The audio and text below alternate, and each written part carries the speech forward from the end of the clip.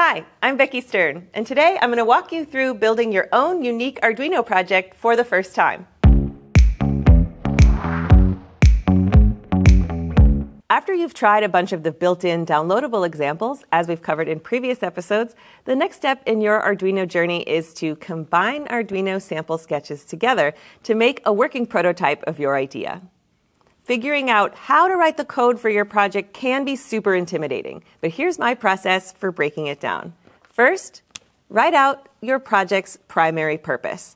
If it has numerous features, you'll have to decide which are absolutely necessary versus those that would be nice but aren't needed at first. You can always add your nice to have features later, but as a beginner, you should start with the simplest version. Next, list the project's inputs and outputs. A passkey lock might have a keypad input, some kind of an LED display output, and a solenoid output. Internet projects might have a cloud service as an input, output, or both, but if it's really your first time building an Arduino project, I recommend saving the IoT stuff for projects two or three. The project I'm building today is a webcam privacy device that uses a button and a real-time clock for inputs and outputs to a servo motor. The next step is to write an outline of your program's main loop. This is called pseudocode, and it should map out the cause and effect relationships you want in your program. For example, if the button is pressed, then move the servo to the open position, and if the timer is passed, then move the servo to its closed position.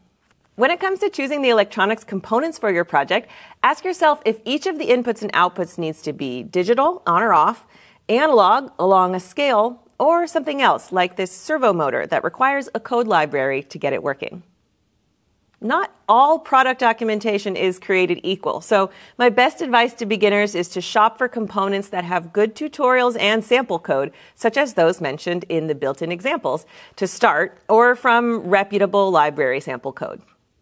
Look up examples and tutorials for each component of your project and build and run each one at a time before attempting to combine their code.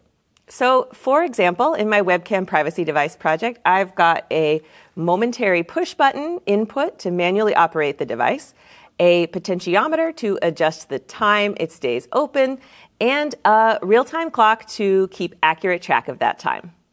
Then there's the servo motor. So I've got three inputs and one output. So I'll start with the built in Arduino example digital read serial and wire up my push button. Then observe the serial output to confirm my button is working and wired correctly. It's easier to discover that something is wired incorrectly at this stage when you're working with code that's known to work with the component at hand rather than trying to debug wiring and new code at the same time. Then when that's working, I'll add the potentiometer to my circuit board and open up a different code example, analog read serial, and observe that serial output to confirm my knob circuit. As we've covered in a previous episode, basic digital and analog code can be used with a variety of different sensors, many times with little to no modification. So I could substitute the push button for a PIR motion sensor, for example, or the knob for a slider or a force sensitive resistor. Having that serial output can help figure out if the digital logic needs to be reversed or the sensor ranged map to suit the output. For the real-time clock, a library needs to be downloaded to communicate with the device.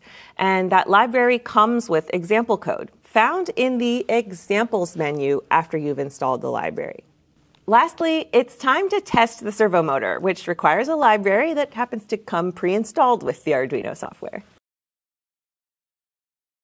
Now it's time to create a new sketch that will operate all the inputs and the outputs and apply the logic that makes the features work this is a little bit tricky. Sometimes there's an example that does something similar to what you want already, and you can build on that. Or you can start with any one of the basic testers you ran in the last step. The basic idea is to add together all of the required bits, like library includes and setup stuff, then write something that performs the actions as described in the pseudocode. In fact, it's a smart thing to paste your pseudocode right into your program as comments. That way, you can always see in plain language what you are trying to do. Comments also make it easier for somebody to pick up where you left off later, even if that somebody is you. You'll want to compile your new program after every important change. Just like testing the hardware one component at a time, compiling often will catch and isolate errors as you make them, like a misplaced semicolon or a curly brace. That if you keep making changes and try to fix all the errors later, it'll be harder to isolate and fix each one. I'll go into more error troubleshooting detail in a future episode. When your program achieves important milestones, save your code to a new version to preserve your last working state kind of like preserving your last save state at an important checkpoint in your video game. You might end up changing some elements of your project as you progress, and that's totally natural. Once you get a good basic prototype working, then you can start adding in the extra features you wrote down earlier. This process of incrementally building up your project will make it come together more easily, and more importantly, it'll be more fun and less frustrating. And if you do get frustrated, take a break. So if you're a student, don't wait until the last minute. You'd be surprised what fresh eyes can do to improve your code. I've put some links to resources in the description. Leave your advice about translating your ideas into a working prototype in the comments so we can all learn together. Check out the playlist with the rest of the series and subscribe to be sure you don't miss the next one.